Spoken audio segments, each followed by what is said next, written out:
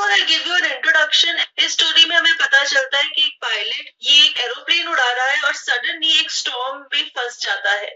काले रंग का स्टॉर्म है, तूफ़ान है, जो कि चारों तरफ़ से इसके प्लेन को घेर लेता है और इसके सारे सिग्नल्स बंद हो जाते हैं और इसे नहीं पता चलता कि अब इसे कहाँ जाना चाहिए। ये स्टॉर्म में फंस जाता है और तभी एक मिस्टीरियस एरोप्लेन आता है।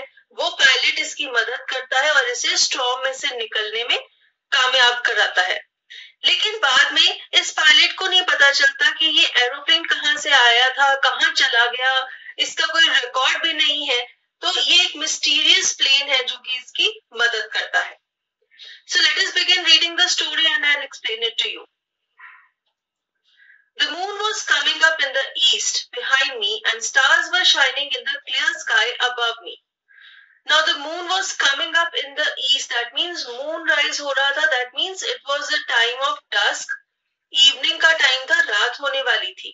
when he says the moon was coming up in the east behind me यानी कि उसके पीछे तो वो किस डायरेक्शन में जा रहा है he is going towards the waste तभी जो मून राइज ईस्ट में हो रहा है वो उसके बिहाइंड है उसके पीछे है so he is travelling towards the western direction and then he says stars were shining in the clear sky above me then he says there wasn't a cloud in the sky i was happy to be alone high up above the sleeping countryside So the sky was very clear. There were no clouds. The stars were visible and it was a good situation for him to fly the aeroplane. तो वो बड़े आराम से अपना plane उड़ा रहा था and he could see the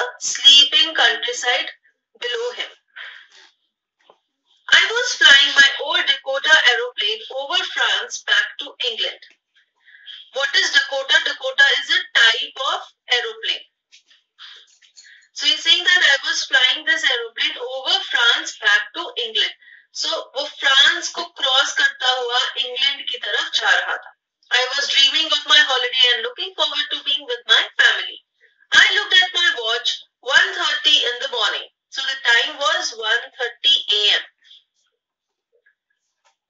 I should call Paris control soon, I thought. As I looked down past the nose of the aeroplane, I saw the lights of a big city in front of me. Now, as he was crossing France,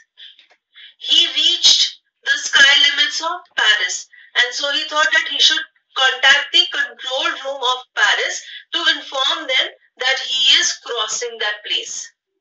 And below he could see the city lights. He could see the bright lights of Paris.